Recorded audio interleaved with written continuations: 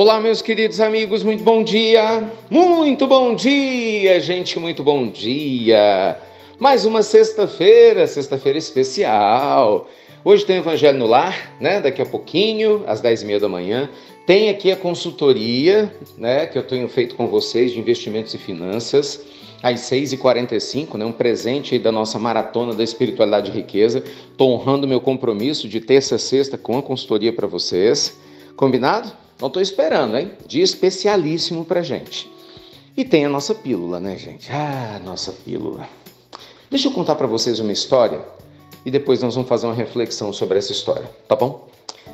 Nós encontramos aqui na nossa história quatro jovens que estudavam em uma determinada escola e que tinham que fazer uma prova junto com a turma. Mas aí a prova era na segunda-feira.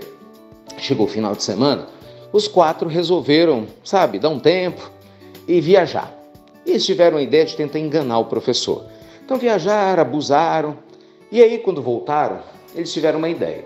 Ao invés de falar né, que iam fazer a prova, simplesmente eles não foram e inventaram uma desculpa, dizendo que o carro tinha furado o pneu que tudo tinha dado errado no final de semana. Como era a primeira vez que isso tinha acontecido, o professor olhou para os quatro, já conhecia os quatro, mas falou: tudo bem, tá certo. Então, ok, eu vou dar uma segunda chance a vocês. E propôs a eles que fizessem a prova dois dias depois à tarde e eles tivessem a chance de estudar para a prova. Então, o professor, pacientemente, né, esperou os dois dias para que eles pudessem estudar para a prova. Não deu outros quatro realmente estudaram né? E aí foram para a prova todos satisfeitos, né? Enganamos o professor. Então eles sabiam que tinha uma prova, que eles tinham que tirar nota, mas agora eles tinham tido dois dias extras para poder estudar. Então, após estudar para a prova, eles foram para a prova confiantes. E qual não foi a surpresa deles quando eles chegam na prova?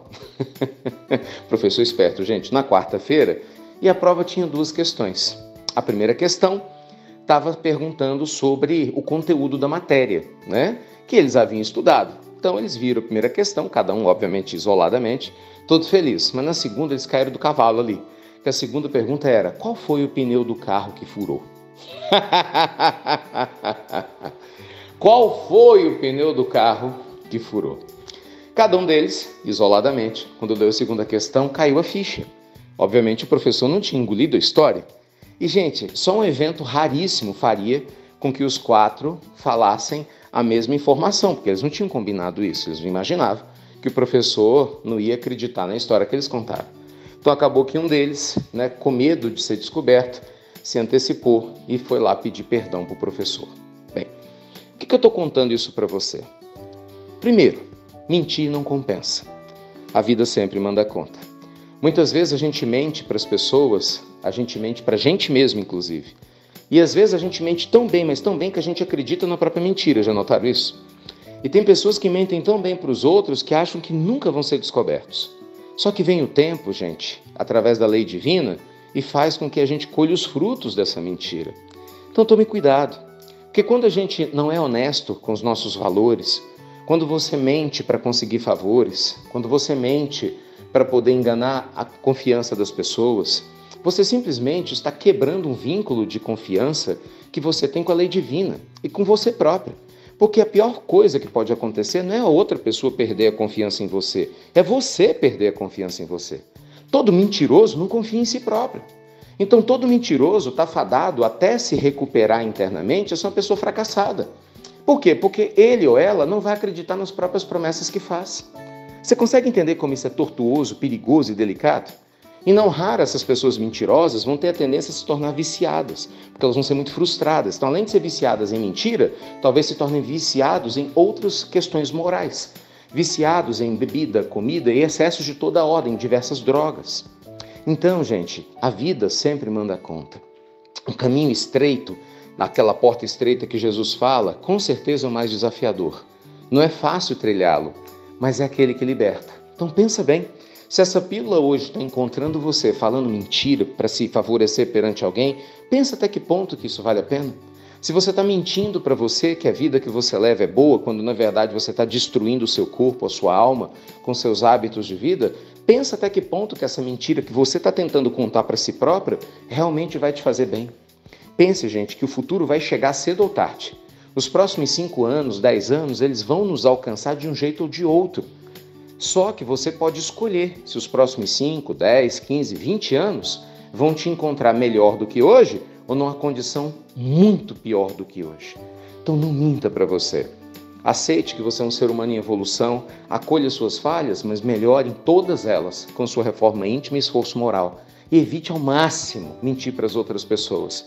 Né? Na sequência de que a gente pode se tornar uma pessoa que se acostuma tanto a contar mentiras para se favorecer, que chega um dia que a gente nem sabe mais o que é verdade e o que não é.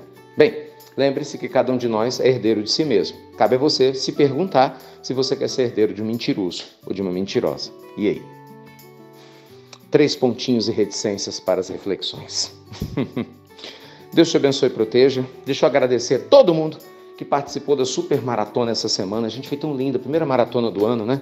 Espiritualidade e riqueza foi tão fantástico. A gente planejou as consultorias 6h45 da manhã, foi um maior sucesso. Foi a primeira vez que eu fiz consultoria sobre finanças e investimentos para ajudar as pessoas. Muita gente participou. Estou até pensando aqui, vamos ver, né? Em estender para segunda e terça, mas aí na pílula de domingo, se eu for fazer, eu aviso vocês, tá certo? Que deu certo, né? Muita gente se beneficiou. Mas eu quero dar os parabéns, vocês que participaram, aos novos alunos, né? Na nossa atualização do coach financeiro, hashtag Próspero 5.0, tanta gente feliz, tanta gente agradecendo pela oportunidade, muitas pessoas se planejando, né?